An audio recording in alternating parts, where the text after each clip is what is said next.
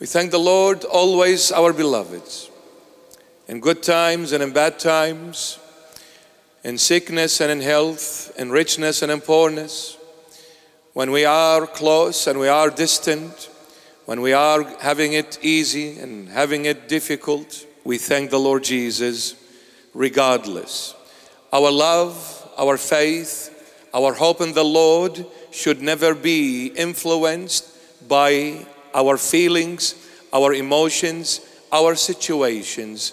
Jesus Christ is way, way beyond and above every situation and every feeling and emotion. We need to follow the Lord Jesus, built and based on faith, built on the rock. Amen. So I'll say this How are we today, our beloveds? How are we? I can't hear you. Do you love the Lord? Yes. Are you sure? Yes. 100%? Yes. Very good. Just wanted to make sure no one is asleep. I'll kill you. We thank the Lord. Today's gospel is according to St. Luke chapter 17, verses 5 to 19, inclusive. Luke 17 and verses 5 to 19, inclusive. The Lord Jesus was approached by the disciples, and they said to the Lord, Lord, please increase our faith. And then the Lord replied and said to them, If you had a faith of a mustard seed, you would say to this mulberry tree to be rooted and planted in the sea, and it shall happen. And then he went on and said, Which one of you, if he has a servant uh, plowing in the field or minding the sheep, comes back after a long day's service and walks into the house, do you think his master will say, Come and sit and relax, eat something, then serve me? He said, No. The master will say to that servant, Come, put me dinner, and gird yourself and serve me until I eat and finish, then you can eat.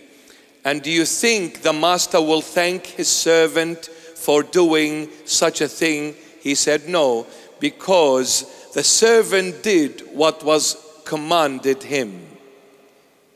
And he said, Whatever you do to the disciples, whatever you do, remember you are the unprofitable servants because we only did what we were ordered to do, no more, no less.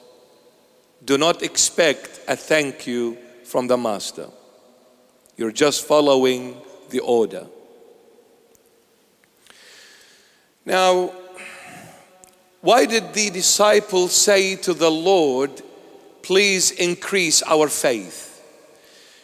Because prior to verse 5, the Lord said to them, He said, If you take heed, if your brother sins against you and comes back and repents, forgive him. And if he comes back and sins against you seven times in the day, and comes back seven times and ask for forgiveness, you forgive that brother. This is why in this gospel of today, they said, Lord, increase our faith. How can I forgive someone who keeps on sinning against me every single day? It's a struggle. The Lord said, if they ask for forgiveness, you must forgive no matter how many times they have sinned against you. And then he talks about the, the unprofitable servant, a servant that works all day long and coming back after a, a long, hard day and serves his master at home and then gets no credit from that master, but the servant remains faithful loyal to that master. Now, the Lord is saying to all of us, when can we achieve this? When are we able to achieve this, our beloveds. You see, every time we read the Holy Bible, we need to look beforehand what was happening in order to understand what the Lord Jesus is saying in chapter 17. If we go back to chapter 15 and 16 of Luke, the gospel writer, Saint Luke, in chapter 15, we see that prodigal son coming back from a far country, and the father said, For my son was dead and is alive again, and my son was lost, and now he is found. So he's talking about the return of his son who left him and went to a far country seeking his own freedom, his way, not his father's way. But after realizing going away from his father was absolute destructive move and decision to make. He came to his senses after really going through troublesome times. So the son comes back and the father says, My son was dead, but he is alive again. And he was lost and he's found now. The father called him son. But then when you come to chapter 16, this son was giving a role in his father's house, and the position the father gave his son was the stewardship position. Now, the son is the owner, but the steward is not. What is the role of a steward? The role of the steward is to look after the master's possessions. The master has entrusted him with his own possession and said to the steward, You look after what I've given you until I call you to me. Even though God the Father calls us his own sons, but in the house of the Father, we are stewards, not owners. And the house is the church.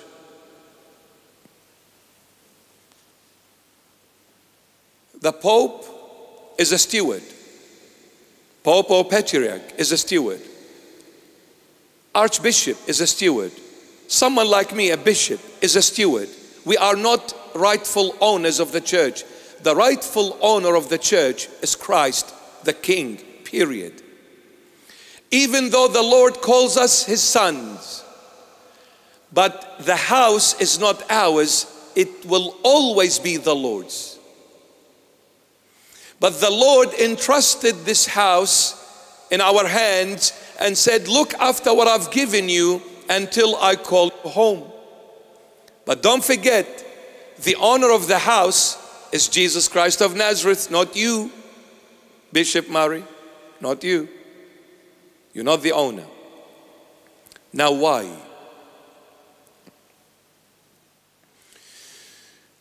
St. Paul in his letters to the Ephesians says the, the church is the body of Christ. And the church means all Christians, baptized in the name of the Father and of the Son and of the Holy Spirit, one God, Amen. So the church is the faithful Christians. And he says Christ is the head of this church. The church is the body and Christ is the head. So all of us, whether we are clergymen or just laity, all Christians, faithfuls are the church, and the church is the body. Christ is the head. How many bodies is there? Only one. And how many heads is there to this body? Only one. Therefore, there are no churches. It is one unique, single church, which is the bride of Christ. And there is definitely one Christ and one head to this church, i.e., the body. The body can never be the head. Whether I am a pope, I'm a cardinal, I'm a bishop, I can never be the head. It is the grace of the Lord Jesus. It is the mercy of the Lord Jesus. It is the love of the Lord Jesus that said to me, You are the head of the church. But that does not mean I am the head, i.e., replacing Christ, who is the only head to this church, to this body. It is by grace made me the leader in the church or the head of the church, but I am literally not the head. Christ will always be the head. Will always. This position will never be vacant. No one takes the place of Christ. Nobody. How can we be successful servants in the house of the Lord? This is for the ecclesiastical order and every single Christian. How can we be found as successful servants in the house of the Lord and the church? How?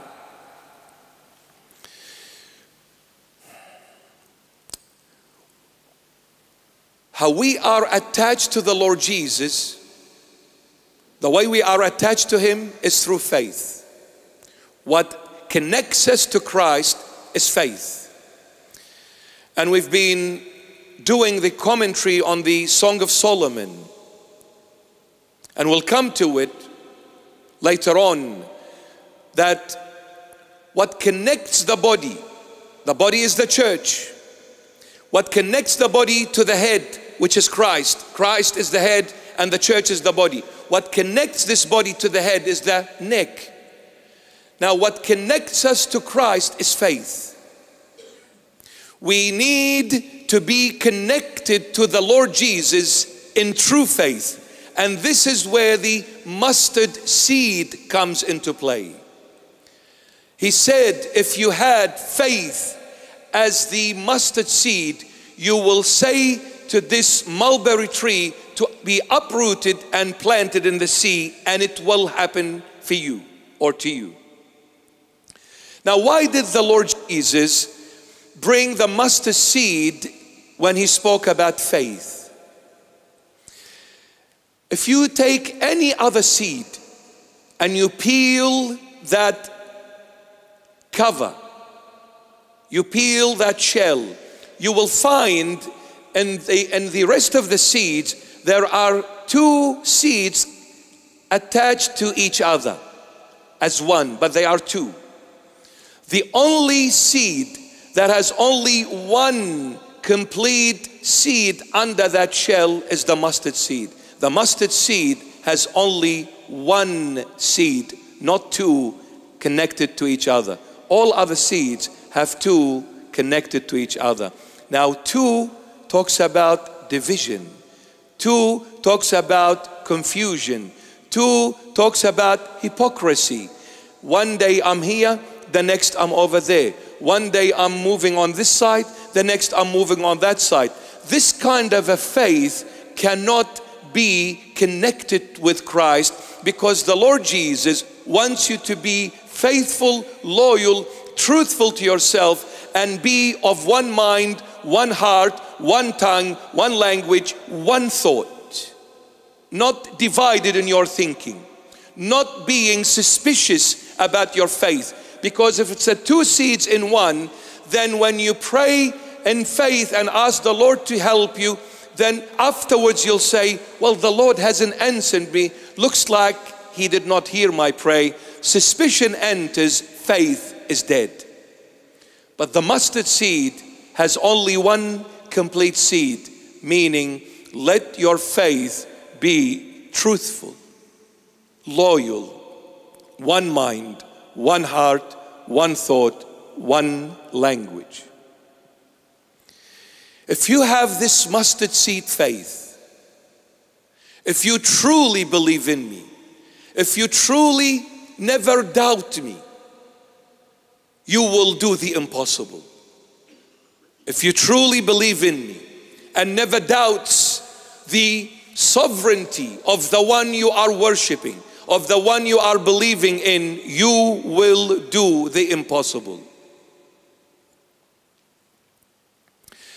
So, number one, in order to be successful servants, I need to have faith that is undivided, faith with no hypocrisy faith with no weakness in it. swinging one day right and swinging the next left. No, be straight.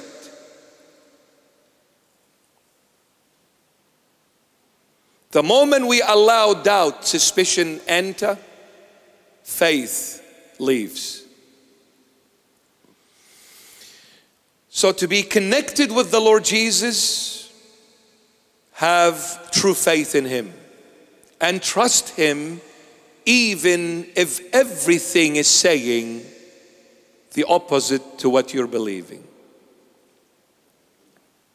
But have faith in the Lord.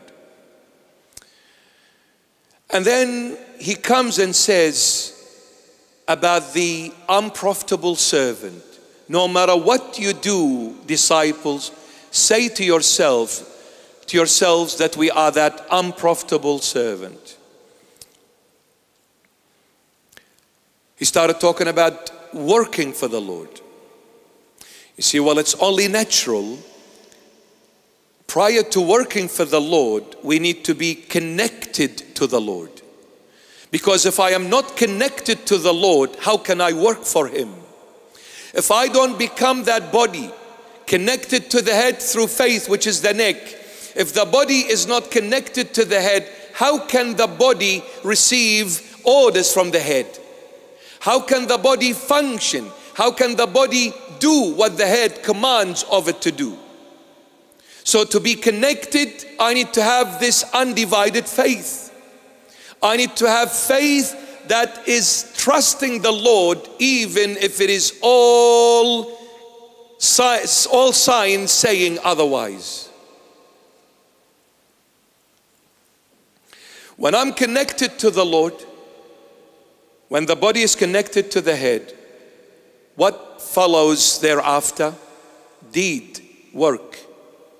I need to work for the Lord. We, as the church, all of us are the body. As we said, the body can never be the head. It is the head that thinks, it is the head that talks, it is the head that orders, commands, it is the head that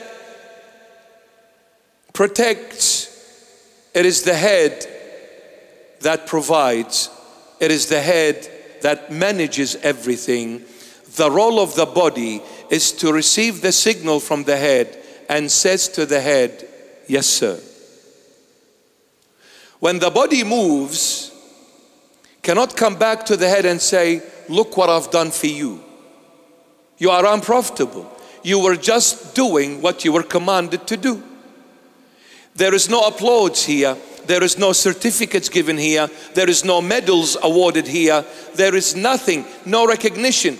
This is the true servant in the house of the Lord you do things and expect absolutely nothing in return. Why? Because all I did was following the order of the head, which is only natural, which is only normal. What is there for you to be rewarded for? Nothing.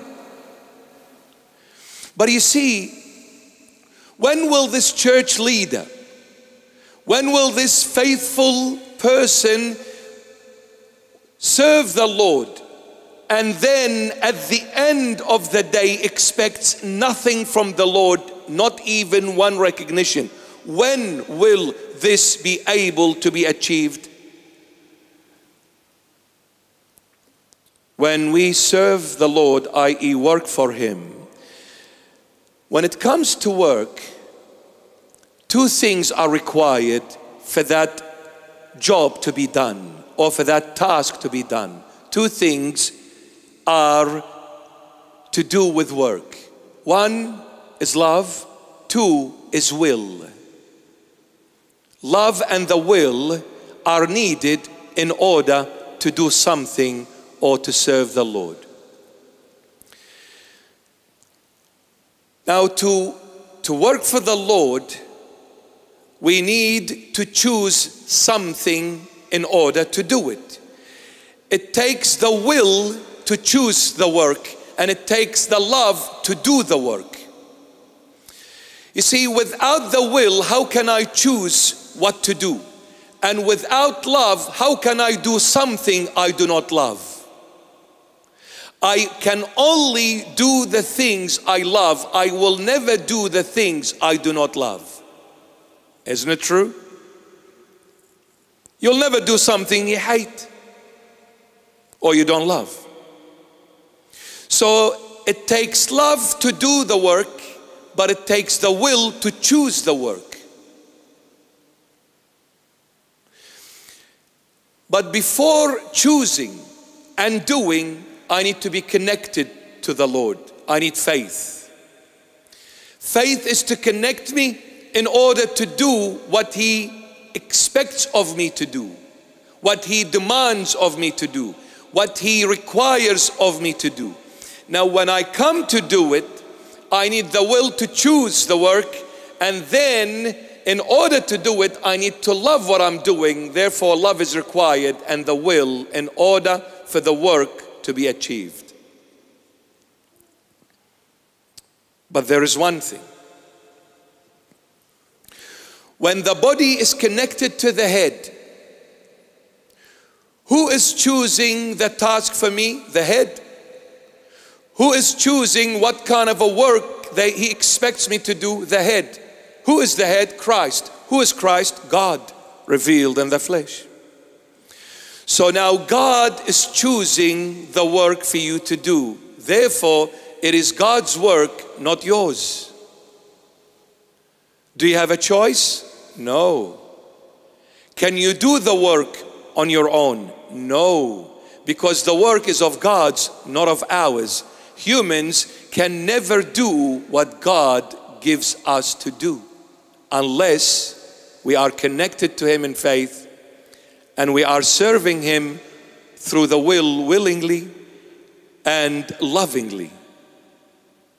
Willingly and lovingly.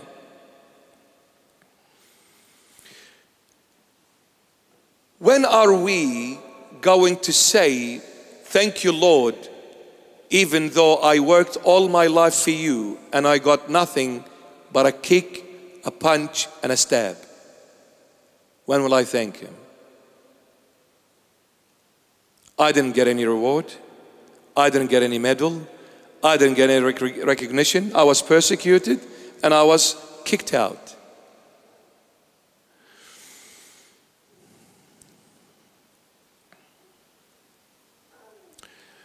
When we are connected to the Lord Jesus, He will come to one of us and say, I want you to sweep the floor outside. I want you to clean. I want you to sing. I want you to serve me on the altar. All of these places and positions are equal in the eyes of God. The cleaning, the sweeping, the singing, and the serving on the altar. To the Lord Jesus, all are equal. He loves us all equally. And He will reward us accordingly when we are faithful servant of His. When I come to serve the Lord, and then the Lord says, Here's a broom, go and sweep the floor. I get offended. How come so and so is uh, doing a much higher position, a much higher place, a much higher job than me? Why you give me the broom? You're insulting me. See now, I'm do I'm serving the Lord my way, not His way. I'm serving the Lord my way, not His way. Why are you offended if the Lord gives you a broom to sweep the floor? The work is not yours. The house is not yours. The place is not yours. Everything is the head's. Everything belongs to the Lord Jesus. And He chooses according to His infinite and divine will. He gives you accordingly. Each one is giving a task to complete and do. If we were all content, the only time we are content in serving the Lord in whichever way He gives us to serve Him is when we deny ourselves, it is no longer my will, but His will to be done in my life. Then we are serve, servant that we love Him from the heart and serve Him faithfully and loyally, even when we are not recognized for all the hard work we've done for the Lord. Because I'm not doing it to receive credit, I'm doing it for my Heavenly Father, for my Jesus Christ, to be glorified and honored and exalted. My sacrifice is to honor Him, to exalt Him, to glorify His holy name. Nothing for me, everything for Him. Now, the only way we become such servants when I am not seeking that position for my own glory. And the only time I'm not going to seek that position for my own glory when I deny myself. And what is denying myself? I need to be crucified in order not to exist anymore. I'm here to serve the Lord. I'm here for the Lord to be revealed through me to the world. It is not about me, everything is about the Lord Jesus. Serving the Lord in His house is to glorify His holy name. I never seek any recognition, personal recognition. But the problem, when I'm doing it my way, when I'm doing it through my own will, my own choices, then if I'm not recognized, I become very offended by it. You can test a person to see if they are serving the Lord or themselves in the house of the Lord. You can test them very easily. Just take that position away from them. All hell will break loose.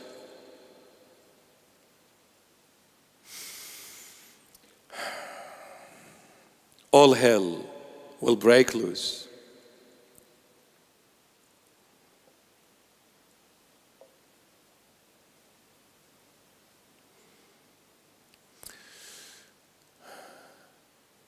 To say, Lord, I love you, it's very easy.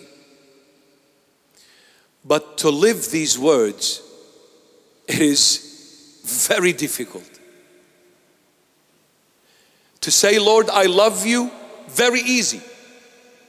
But to live these words, Lord, I love you, it is extremely difficult. Because when I say, Lord, I love you, what is what is it that I'm really saying? What is the meaning behind this love for the Lord? What does it entail? Do I really fathom what I'm truly saying? Not really. Because when I say, Lord, I love you, I lose my voice sometimes as well. You see, to work for the Lord, it requires love. Why? Because if there is no love, there is no sacrifice. If there is no true love, there is no sacrifice. Parents give their entire life for their children. When the baby is born, from that moment until that baby is a grown up adult, whether it's a man or a woman, nothing in between when it's a man or a woman, the parents never cease sacrificing their life for their children.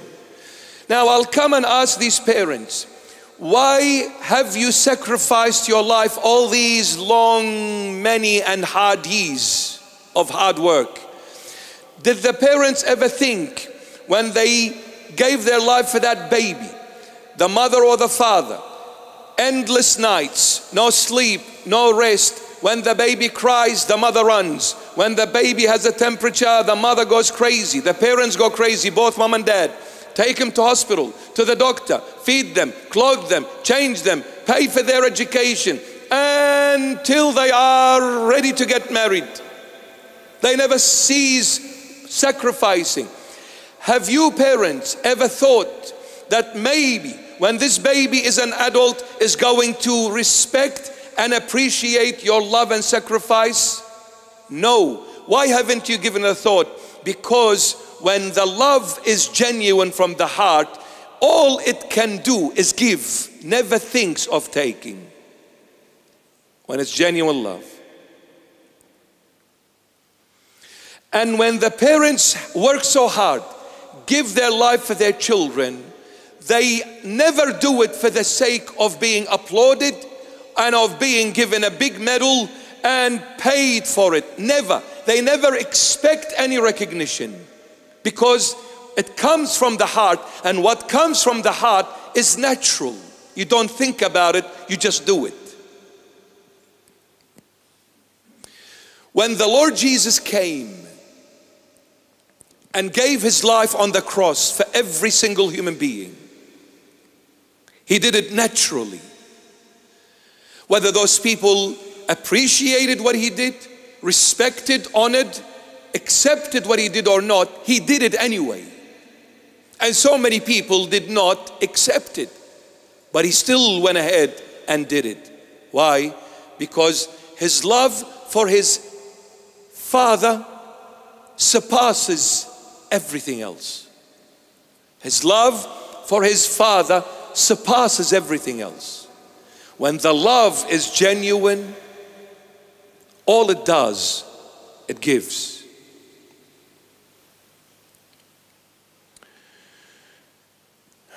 The Lord says, I love you so much, I died for you.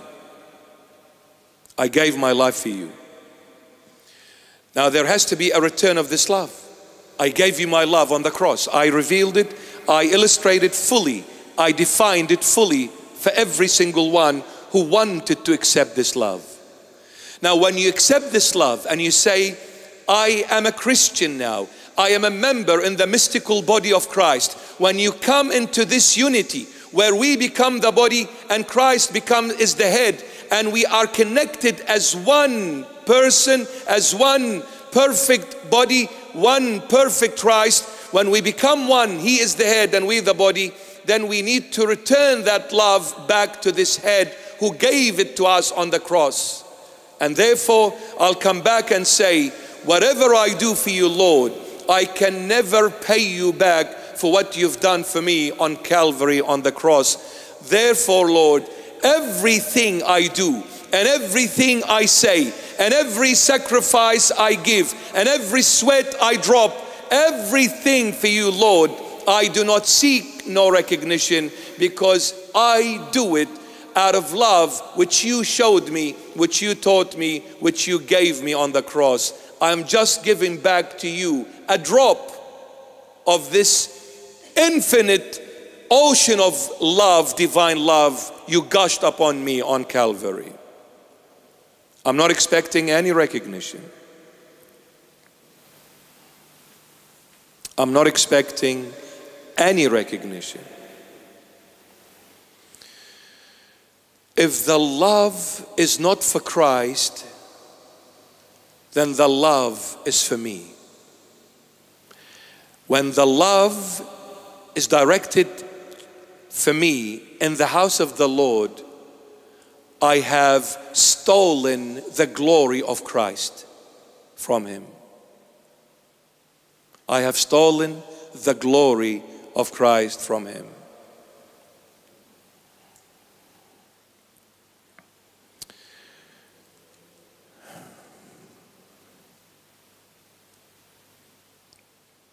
No matter what we do or say, we need to remind ourselves that we are those unprofitable, hopeless, useless servants. Everything we did, we did it because it was commanded of us to do. The head commanded the body to move, and the body moved. Big deal. You expect a recognition body? No. You were doing what you were supposed to do anyway. What are you expecting in return? There is nothing. The hand was ordered to move, and the hand moved. And then the hand said, Why aren't you applauding me for moving? Sorry, You were just doing what you were expected to do. No more, no less. At the end, everything is of Christ's. The work is His, the honor is His, the glory is His, the church is His, the throne is His, the crown is His, the cross is His, the rank is His, everything is Christ. Everything.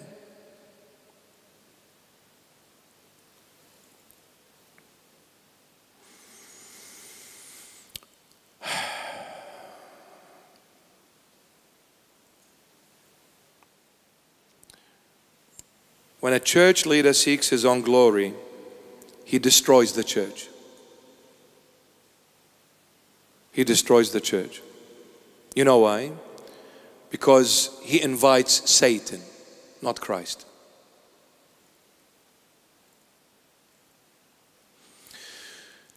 And when we at home as a family, husband, wife, father, and mother, when we do things at home to get recognition for ourselves, we ruin that home. If the husband does things to be acknowledged and recognized for it, and if he's not, he stops doing, then the love is not genuine. The love is selfish. And when the wife does the same, it is a selfish love. The family gets divided and eventually destroyed. But when we come and say, as a husband, as a father, whatever I do, I'm doing it for my wife, for my children, and I'm doing it out of the love that I have for my family, and I'm doing it not expecting not a single recognition then the Lord will recognize you. The Lord will reward you abundantly on earth and in heaven. Don't ever expect recognition from people. If you are seeking people's recognition, then everything is vanity of all vanities. Do everything for the Lord's sake, expecting nothing in return, and let Jesus Christ of Nazareth give it back to you the way He chooses, not the way you force it to be done.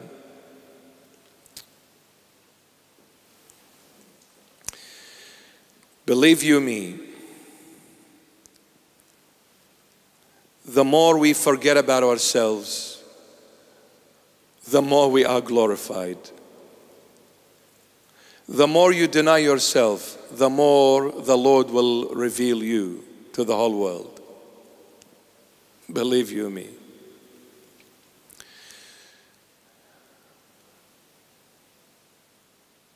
And this is why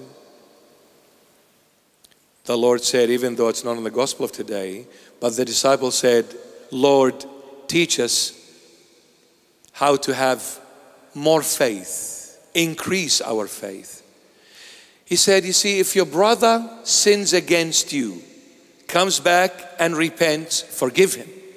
And if he sins against you seven times a day and comes back and asks for forgiveness seven times, you need to forgive. You know why, my beloved, you are able to forgive so easily? The day that comes, you don't see yourself anymore. It's easy. This person came and hurt me. If I don't see myself, I'm not going to see their hurt because they hurt me, but I don't see myself, so nothing happened. But you see, if I see myself and I see myself something big, something special, well, I will never ever let anyone to even put a dent on me or a little scratch. I'll shred them to pieces. But since I have denied myself by the grace of the Lord Jesus, I am here for the Lord. I am here to serve Him and Him alone. I am here for no one else but Jesus Christ of Nazareth. Since I do not see myself, since I'm not seeking a position in the house of the Lord, since I'm not seeking any recognition, any reward, any payback, therefore, whatever is done unto me, it's all good because I don't exist. So you just wasted your breath on someone that doesn't exist. You hurt me or you loved me. Both are the same to the person who truly denies himself for the Lord's name to be glorified in him.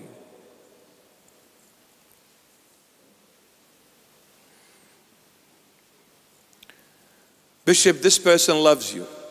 Good. Bishop, this person hates you. Good. Good. Good. Person brought you a bunch of flowers. Oh, what a feeling, Corona. It's the same. It's the same when Christ is your objective. It's the same when Christ is your goal. It is the same when Christ is your love. Is your love. Is your love.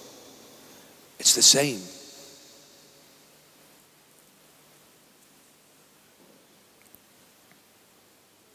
Love one another. Forgive one another. Pray for one another. And be there for one another. Don't ever hold any grudges in your heart against no one.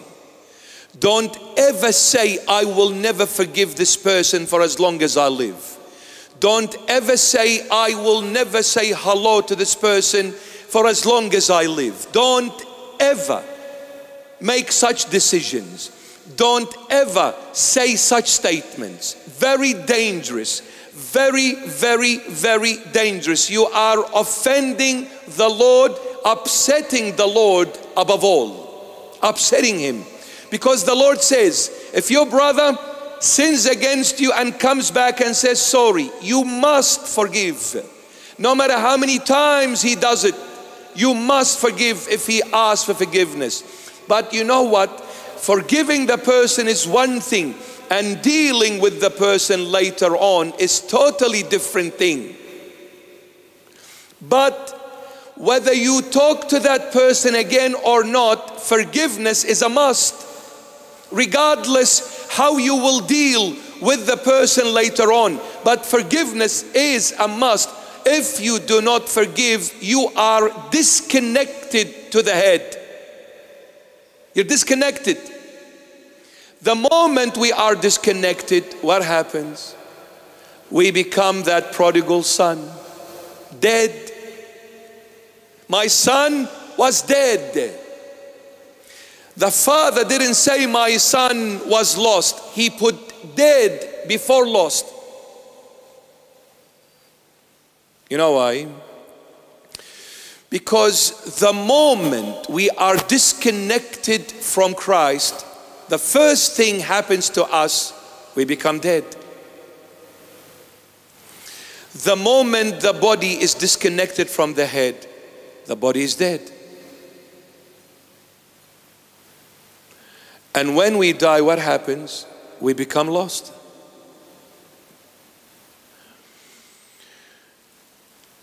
We're shocked why some people in the world behave in a certain way. Why are we shocked?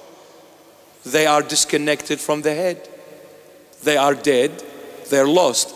And what do you expect from a dead, lost person? Nothing but destruction. Nothing but destruction.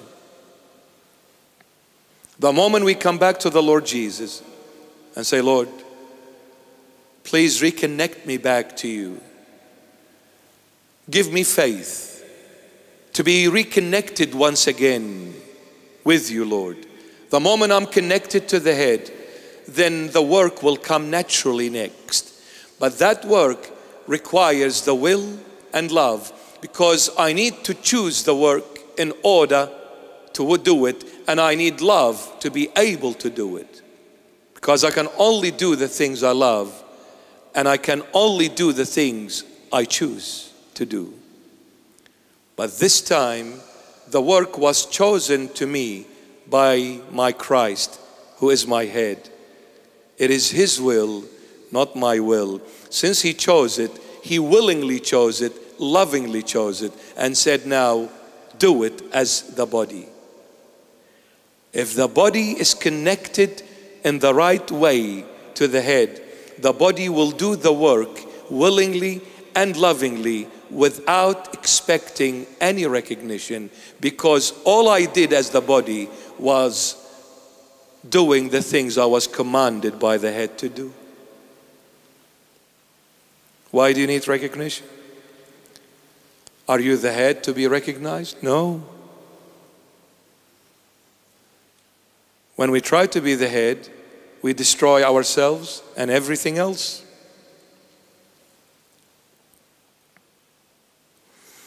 And I'll leave you with this on an earthly level, but still connected with Christ.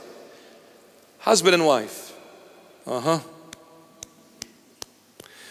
For those who are not married, don't even think about it.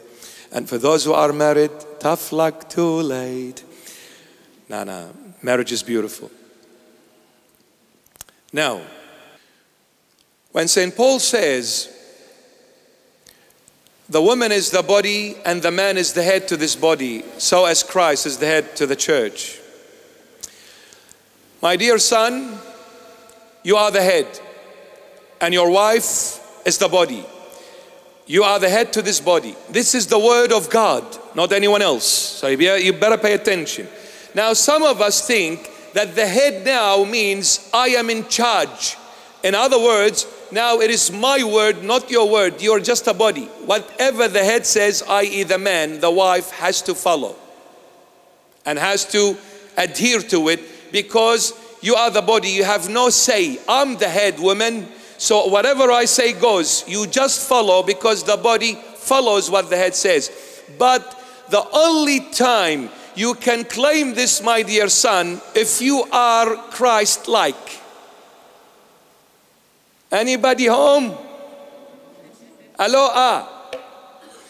All right, so don't take half the truth, you need to take the whole truth. Since it's the Word of God, are you Christ in order to be the head? Now, let's come to Christ. Now, you want to resemble the Lord? As far as being the man dealing with his bride, the church. How does the Lord deal with his bride, the church, with his wife? The wife never ever does what he says. the Lord says, Be good, we're bad. The Lord says, Love one another. We go against each other. We excommunicate one another. We depose each other. We say, You're a heretic. I don't believe in you unless you are Catholic. You are going to hell. And unless you are Orthodox, you have no chance, no hope of survival. You need to come back to the truth. Now, the Lord is saying, I'm the head, and the body needs to listen to me, and everyone takes it his way, their way, and they have gone and broken the word of the head, Christ, the man. The bride, the woman, does a lot of things her way, not her man's way. That's why the church is in turmoil. That's why the church is in division. That's why we don't see recognize our right hand from our left. If we did it Christ's way, why would we be living in hell? Why would we be living in division? Why? Because we're not following the head. Now look at the man.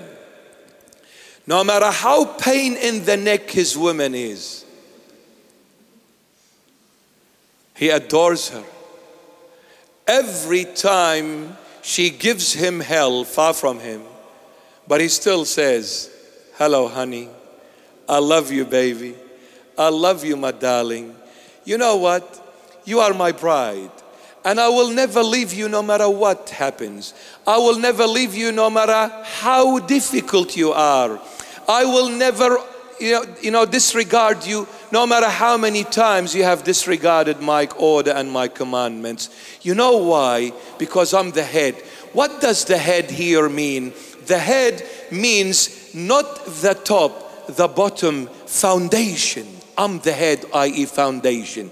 Now I'll ask you this what is foundation? Foundation is the only thing that carries the entire house. When you build the house on the foundation, the foundation is stuck with the house, can't move, can't shake the house off. Because that house is now complete by the foundation. They become one. If the house is knocked down, the foundation, what do I do with it? Can't live on the foundation. I live in the house. The Lord says, I'm the foundation, that's the head.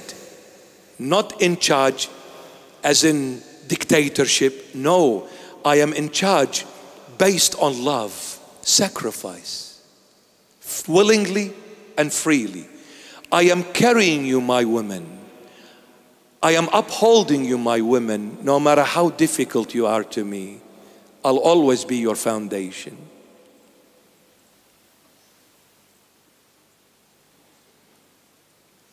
I'll always be your foundation. Now, the woman in return needs to respect this love, needs to honor this love, needs to glorify this sacrifice. I'm carrying you.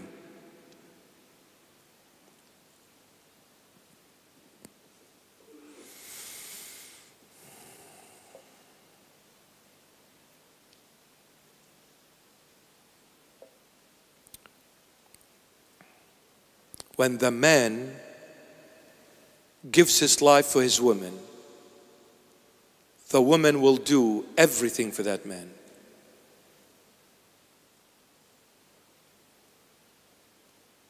When the connection is right. When the connection is right. That's why it's so vital in choosing your partner in marriage so vital. You need to know what you're choosing, who you're choosing. If you are looking for external beauty, you're mistaken. You need to look for internal beauty more than the external beauty. If you are, if you are seeking just wealth and fame and prestige, you're mistaken. You need to seek faith. You need to seek genuine love. The two have to be both in agreement when it comes to Jesus Christ. If you are choosing a partner, the moment you mention the name of the Lord to them, they switch off, they walk away, they change color, walk away from them because they are not good for you. The two must agree because agreement keeps love intact. Without agreement, there is no love. Because the moment we disagree, we depart from one another. The moment we depart, love is non existent anymore. What keeps love together is agreement. When both agree on Christ, then the house is built on the rock. This is why if I cannot forgive my brother, and who is my brother? Another member in the mystical body of Christ. I'm a member, you're a member, and every single one of us is a member that makes up the body of Christ in his mystical body. But if this member cannot live with this other member, the body cannot function properly. You see, if the hand does whatever it likes and the leg goes wherever it likes, the body is in turmoil. There is division, there is friction, and there is destruction at the end. But if all members are in harmony with one another, there is prosperity, there is life, there is glory, there is construction here. And how can we remain together? By forgiving one another. And how can we forgive one another when our faith is like the mustard seed, one seed only, not divided, one seed built on the rock? When we are connected in Christ, built on the rock, then we're able through Christ to forgive one another because when His will is done in us and when His love is working in us, anything and everything is possible. Anything and everything is possible. Love the Lord Jesus from the heart. Serve the Lord Jesus from the heart.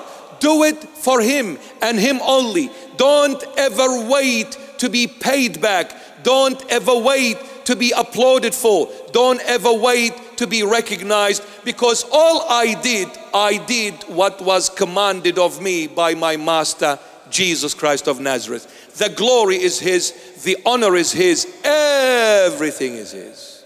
Everything. Amen.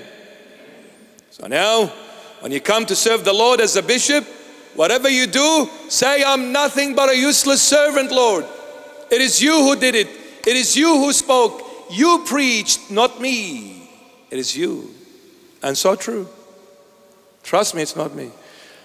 You see me other times, this is not me. Sometimes I've listened to this bishop on YouTube and I got drawn to the talk and I forgot that this good looking bishop is me. And in my heart, deep down, subconsciously, I think, I said, Wow, what a great talk. And then I woke up, I said, That's you. But it's not you, it's the Lord that spoke through you. That's why it sounded good. But when you speak on your own, shut up. You're ugly. You're horrible. You're terrible. You're nothing. Shut up. We become ugly without the Lord.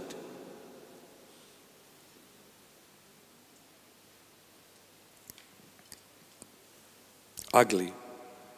You're not in a rush, are you? Tough luck. No, no, quickly, quickly.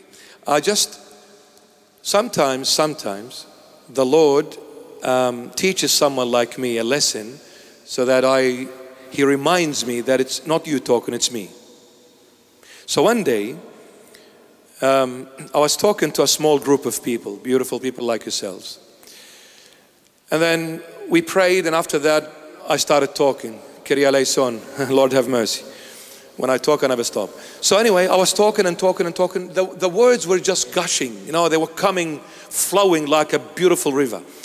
And then out of all that beautiful talk, suddenly upstairs went blank. I started looking for words. I found none. Trust, believe me, I'm saying it as it is. I searched for about 15 to 30 seconds trying to find one single word, yet they were in the millions gushing. And just went blank. I became dumb and I became numb. From talking so loud, all of a sudden to a full halt. I'm looking at the people's faces. They're staring at me, wondering what went wrong. Are you okay? And I'm trying to say, there is no more words. It's gone blank upstairs. And then after those few seconds, those terrifying seconds, and I looked as a zombie in there or some dumb person. The Lord's voice came, believe you me, the Lord's voice came and said, Let these people go home.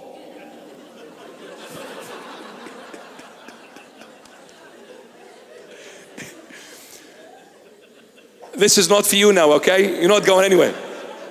So, tafalak, tafalak, it's not for you the voice of the Lord came so beautiful, so, so sweet. He said, Let these people go home. They are tired and hungry. And I'm still thinking about it. I said, What? He said, Yeah, let them go home. They're tired. I looked at the watch. I don't wear one now, but before I used to. I looked at the watch. It was 12:30 past midnight. You think St. Paul spoke till 6 a.m.? I was getting there. It was 12:30. That's midnight, yeah? And then I said, Are you tired? Oh. They said, Bishop, what's wrong? I said, um, Well, the Lord said, Let them go because they're tired and hungry. I said, Actually, we are. I said, Okay, well, then get out of my house.